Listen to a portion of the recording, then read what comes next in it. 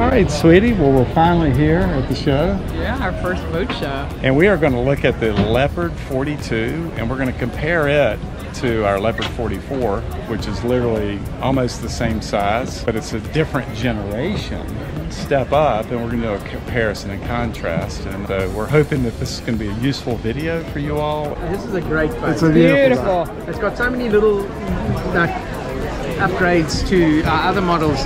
This is our latest, like just shore power on both sides. Yeah. you know, things like that, oh, and a soft start on the air cons, and Sure. All the boats now have water purification systems. Oh, wow. On board. Where is the water maker on this? Underneath the forward bunk. Wow, it's got the flexi tee. Wow, oh, looking good.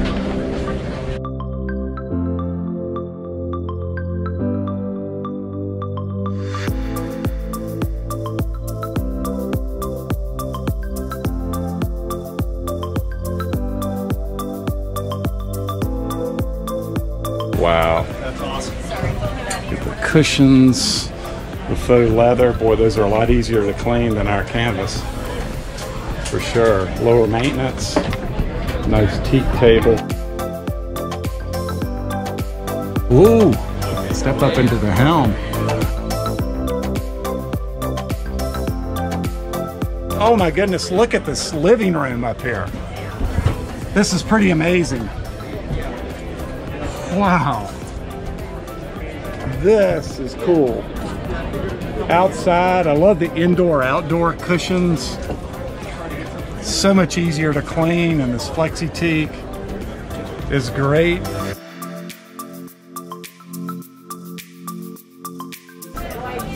Set up just like the uh, 44 with the main sheets controlled right here. And then two winches. I'm sure one of them's a power winch 12 inch Raymarine it's great wow look at that and then sitting here, it's very comfortable. Uh, don't have a view of the port side bow, but hey, we don't have one on ours anyway. There's probably a camera. Sunroof. Got our light here. Compass. Two buttons there for the winch. Um, it's really well set up here, nicely organized. And then coming around, plenty of room, a lot more room than the 44 on the sides. Lots of light, can't wait to get inside. The glass skylight is a no step Right, zone, which means that your attention from the port side to the boom or to the sailbag is very limited because you're not allowed to step on that zone. So that's a bit it's impractical, but I'm sure if you had to step on it, you could. It's just not a good idea like the hatches. Plus, you can't put a uh, solar panel. on right. It takes up a lot of space. Yeah, yeah. Also, I, I don't think there's a uh, way to close off the skylight in the helm. Okay. Which means that yes, you have access to be able to see the Yeah. mainsail, but that's a really large skylight. Yeah, yeah. And that means that if you're at the helm and the sun is overhead, it could be quite hot in there, I would guess. It's a rough life, man. Ooh, you've got lockers up here for the sail bags, which we don't have on the 44. That's an added plus. No front cockpit here, but a lot of lounging space. And it looks like there's a lot of storage here. This is a dual trampoline right there and I think the anchor is in the middle of the boat. Let's take a quick look at what this looks like. This is like one of the most important parts on a boat. Oh my goodness, they've got a Lewmar windlass, which is a whole lot better than our quick piece of junk that's on our boat. Oh, look at the shiny chrome anchor, the show anchor. Up and down, I love it. I got boat Indy, I want it, I want it. And then we cover that up. Boy, these pads are great. So I can lay out and get some sun cancer. All right, Flexiteek coming out here. So they've got the front door. Boy, the front door really provides an incredible amount of airflow through the boat. It's a feature that we wouldn't want to live without anymore. So we've got some storage up underneath here. oh, that's a lot of room right there. I think because it, yeah, when you I'm sure there's lots of storage space. Up under here, another lazarette. Pull this up. The generator's back there. A lot of room. Whole lot of storage. Huge chain locker. You could put 400 feet in there.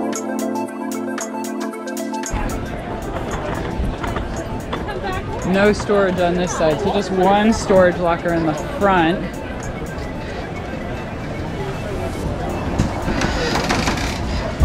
Oh, but they do have some storage hatches here. Oh, this is really nice. These self-contained hatches, huge space up here. As long as this could stay dry or partially dry, this is great storage.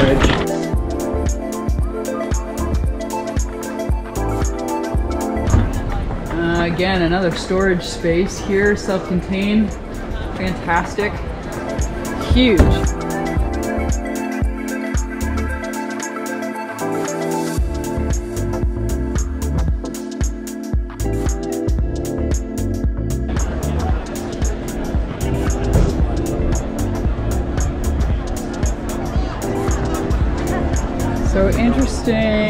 No access to the roof deck except through the cockpit perhaps.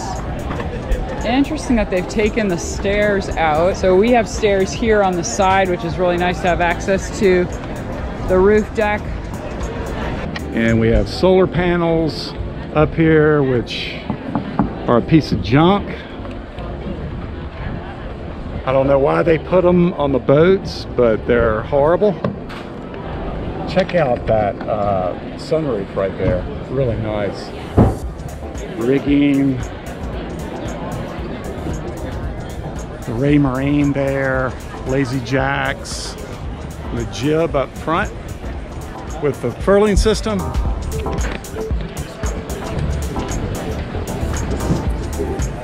And this is very durable trampoline.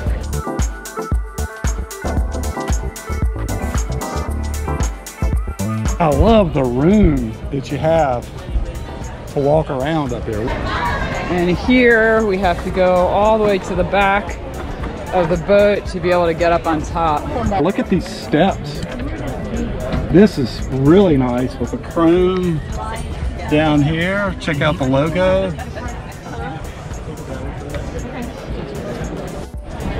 So the downside about this window, one is probably leakage, two is just reduces the amount of walking space you have up here to get access to the boom and the sail bag. So you can't put a solar panel over here and you're not supposed to step on it, but it sure is sexy, that, that light. And it looks like it has a, a panel, a little sunshade right there. Oh, this is great. This puts a whole new meaning to the sundowner right here, the lounge.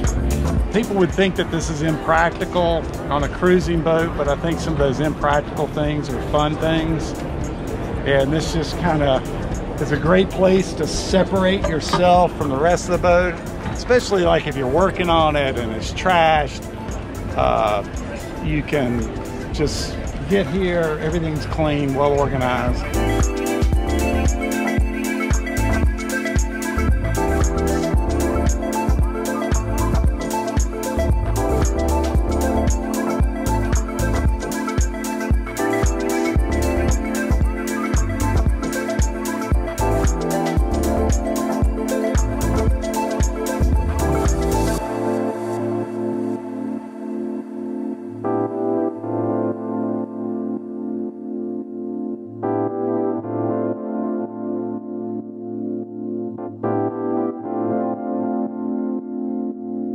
So that's the top side. Let's go down below.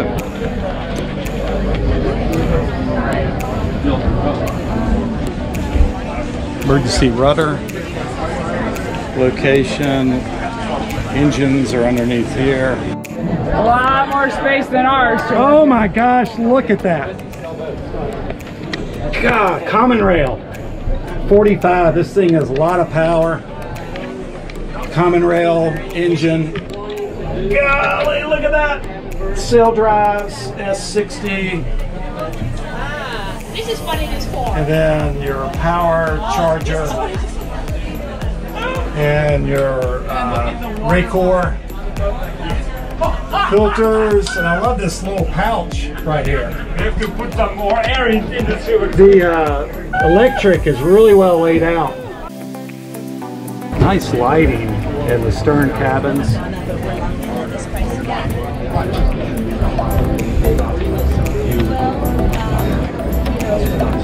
Is your propane cabinet right there. Great little fridge underneath the helm station, although it is a Vitrifrigo.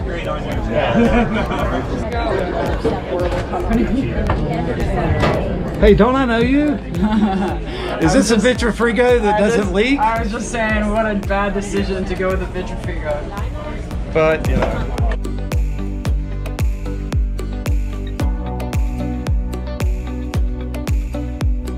I do love that they don't have the table in here. It makes so much more room.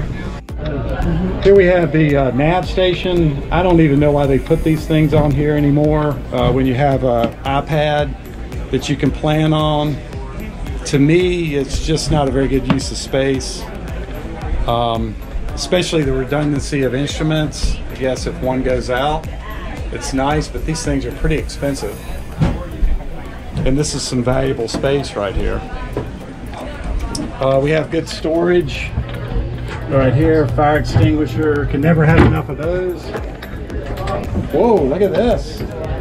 Surprise storage right where the sink is. On this side, I bet this is the trash can. No, oh, look at that little pull out. And then storage here. Um, I'm not going to push that out of the way. We'll just take word for it. That's got to be just regular storage. Okay. Ah, storage here. That's really good to have. Put cans and yep, all that stuff. Load up for that big offshore trip.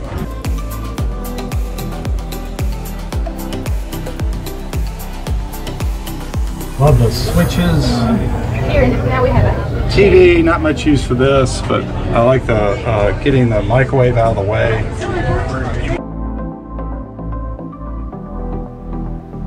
You know, ovens, which are just really horrible in terms of their ability to control the heat. But some really nice storage units and spaces here.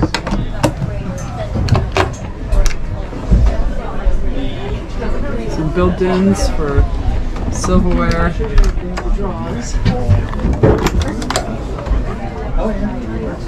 Trash disposal underneath the sink, which is great. I'm not sure. Oh, so I guess you can store your chemicals here. A lot of space in here.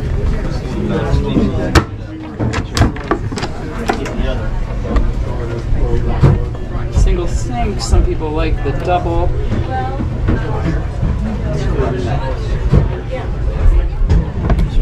Drying rack space.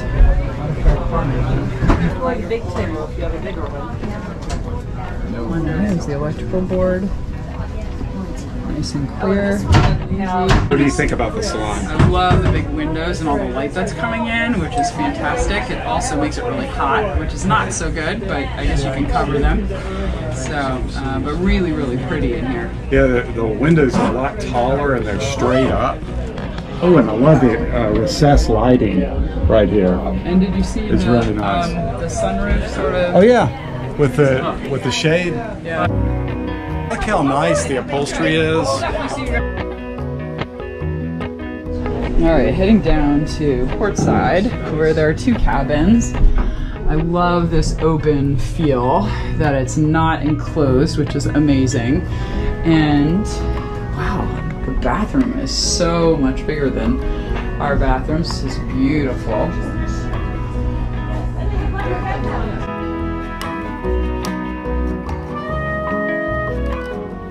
Beautiful cabinet.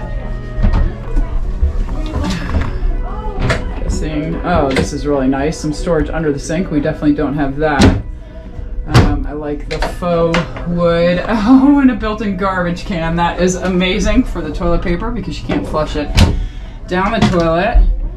Um, and I love that they've simplified it to just pump in and pump out. This is great. And this looks like one of those whale scuppers, so there's no more pumping out of water. You're just, as the water goes down, it sucks the water down immediately. There's no shower pump that you need to pump the water out. Well, this is beautiful. I am always in the floor, so I'm gonna look at the floor space. Beautiful under bed cabinets. Great storage space. That's wonderful. Um, these steps to go up, I would actually take those out given that you don't really need them and extend the bed. But some nice shelving space on both sides, which is great. I do like that, although this bulkhead prevents you from having a wider bed.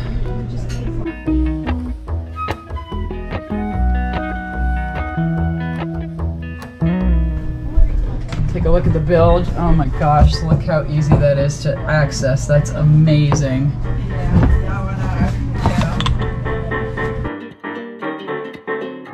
The windows in the 42 and the stern cabin are amazing. the amount of sunlight and light that's coming in.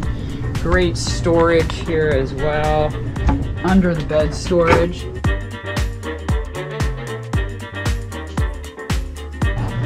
Take a look at this. Oh, the freshwater tank is here. Interesting, right in front of the stern bed.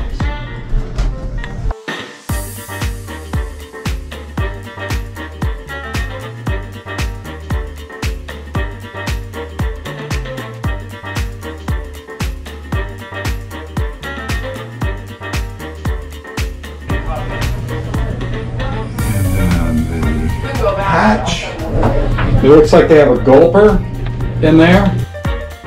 Moving down to the owner's cabin. Wow, this is amazing. Oh my goodness, it's so wide. This hole is incredibly wide. It's almost like they've compensated on this hole compared to the other with the open doorway, which is incredible, making it just feel so much bigger. Again, the vertical windows are fantastic and the big windows. You can take out the shelving if you wanted to to make a king size bed. Although this looks almost like a king now. Not so keen on this side entrance. Loss of the mattress here doesn't really make that much of a difference. You're gonna oh, scoot in and scoot out anyway. Great floor storage and under bed storage. Beautiful hardware. Oh man, look at that mirror. I'm curious how, if they've got more storage behind here. Oh, no, interesting. They look it now. Yeah, they lock them. So that's a little bit harder to have access if they lock them. The water storage, which is great. So I guess it takes the a little bit of the weight out of the front of the boat. I just find this to be a bit of a waste of space. No one will. I mean, what woman actually uses We a have that, and it is a true Waste of space. I mean, We thought the same thing. this is nice. USB Yeah. and chargers. That is great. I like the. Uh, I like all the draw space. Yeah, they are nice. This is great.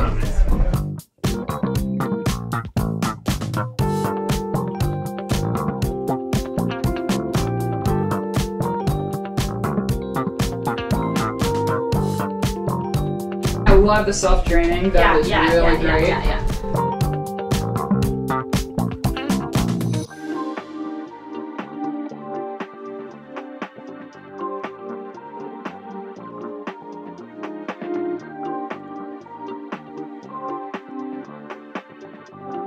But that's beautiful. Look at all that storage yeah. space in here yeah. for linens or whatever you need to. It's great.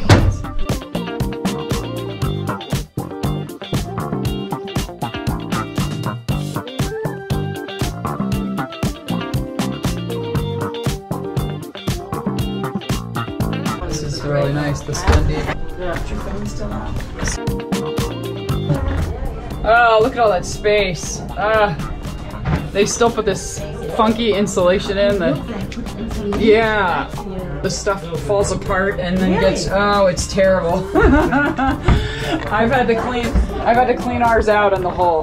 Really? It's interesting there's no storage in here. The kitchen on the other side. Oh, look at this. Okay, that's a proper one. Uh, yeah. Man, that's huge. A lot of mirrors.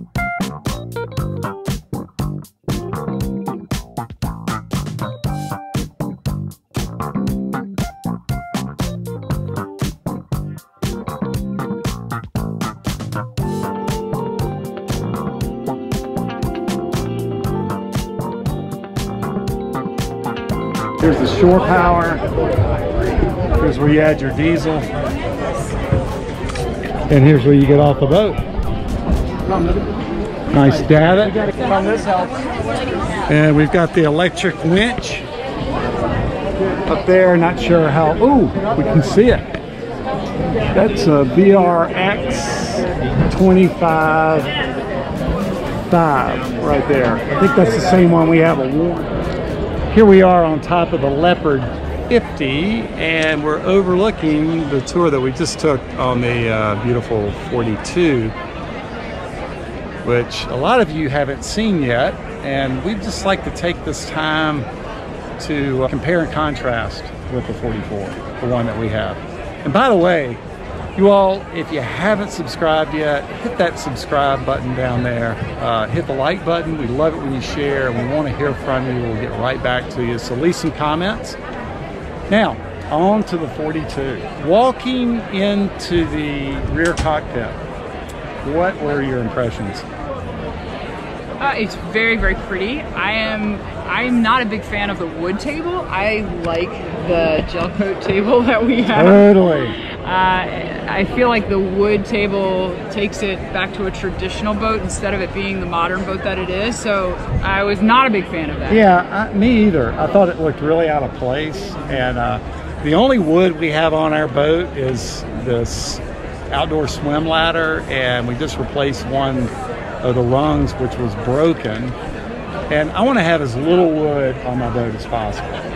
But What I else? did I did like the orientation of the table. So it does have a bit more of a, a full sectional feel and look, which is really nice.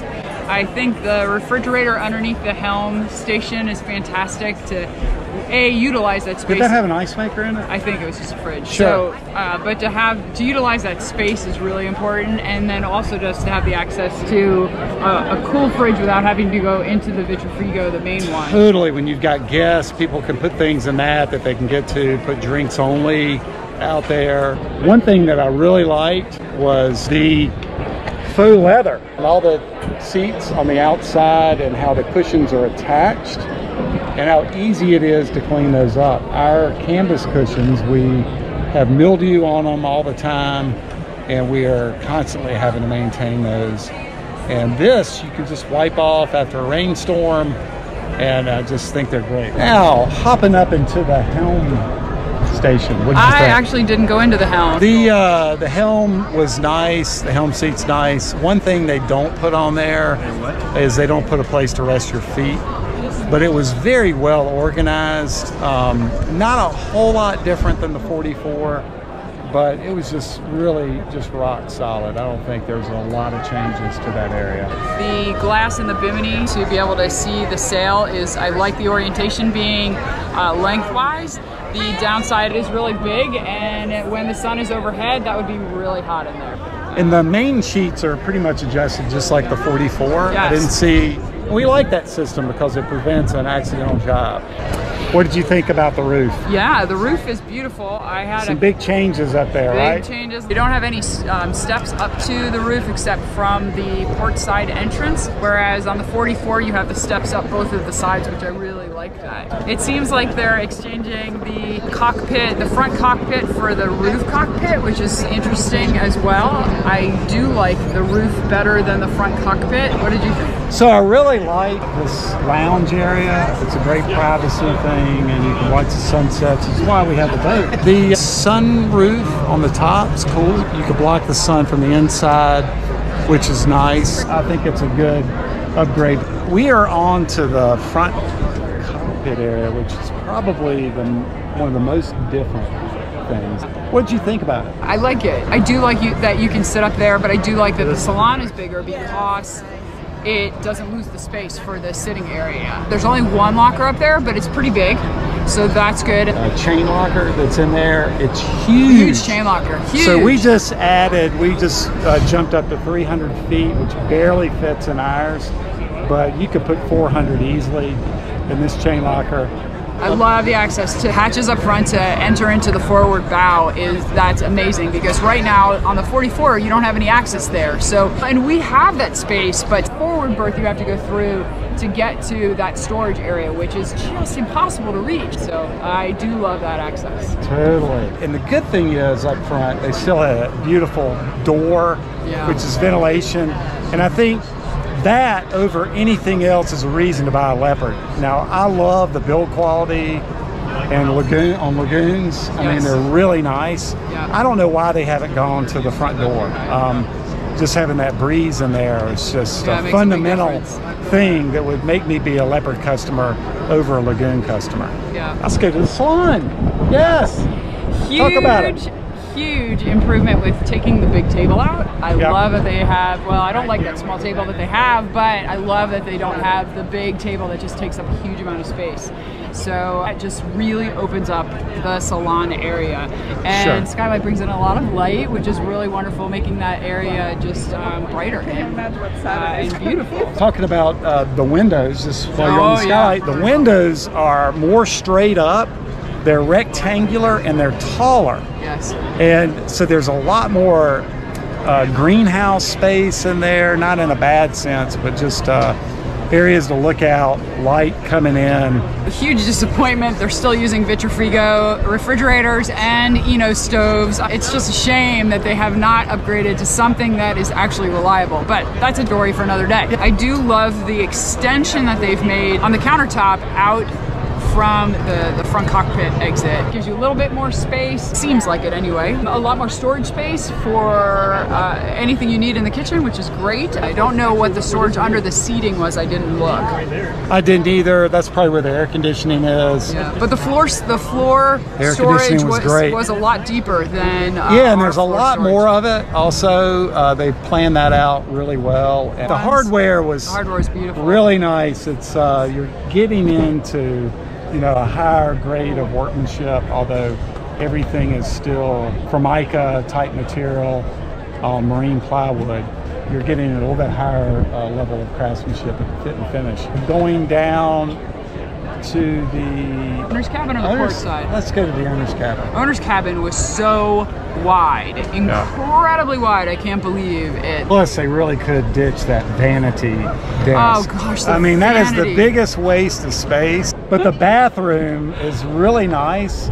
But from a practical standpoint, being a full-time cruiser, having a four cabin is more practical and also from a weight distribution Yes, standpoint for storage. you can more easily balance out the weight starboard and port and this is especially important on the front of your boat Yes. that you that you have that done. I did like the access to the bilges. Uh, I did look at all of them, and there's Good. a lot of space to work in the bilge, and it's really neat. That is that is a dream for the bilge babe. And the And- beds were queen size in the stern, and there was a lot of light. My goodness, Yeah. tons of light coming in and ventilation. This is a feel good thing. I don't know how practical it is when all that stuff starts leaking, down the road, you're going to have to deal with that. Sometimes I wish our boat didn't have any windows in the hull. Yeah. Under the bed, there's a pull draw that's really nice for underbed storage instead of just the shelves that we have. Uh, really, really nice space. I liked it. There's a built-in washing machine um, forward Oh, yeah. on the owner's cabin, and I love that all of the bathrooms have the, the Gulper, The Gulper, whale whale Gulper. Gulper. And I noticed the angling of the shower floor was was really fantastic for drinking. Well, let's talk about the port side guest quarters. the forward cabin on the on the port side, the bed is super small. Uh, I was thinking it was better, but it's not. You don't think it is? Oh, it's a lot smaller. Okay. Overall, I love the Leopard 42. That's a sexy cat. It's one generation newer than ours, and it's a. I think it's bigger on the inside because of the hull designs. You have more space, and it's amazing all the feedback that they get and the new materials that they use and the improvements that they make from uh, feedback from the uh, Leopard customers and charter customers, and they've really made good use of that in this boat. Um, the only problem is for all of you who are out there looking at this boat and saying, "Oh, that's sexy too," ooh la la. If we priced this boat out to have what we have on our boat, our Leopard 44, it would be around $900,000. And this thing's going to depreciate super fast. Your insurance is going to be higher. But as far as entertainment is concerned, this has so many areas. It has one less space on the front cockpit, but I think they've made up with that in spades by having the lounge on the back. But that's a great space up there. And talking about the color. Yeah, so they've trended back to the darker color, which I am not a fan of. And you all, this is what they do with new designs. They're constantly changing it so it looks different to give you a new it's reason. just our opinion. Um, Yeah. But we just, I just don't prefer the gray, the darker gray um, look. You know, me, I I thought it was fine. Um, I'm just glad they didn't go with the old-fashioned kind of orangey cherry. Um, but I thought it was okay. But I get where you're coming from. Just a lot of innovative changes on this boat that make this a Brighter, must-have lighter. boat. Yes. Yeah, I, And- it, it is beautiful. And you know, if I could switch and just switch over to this boat, I would in a heartbeat. But we love our boat. But would I get one of these six years from now?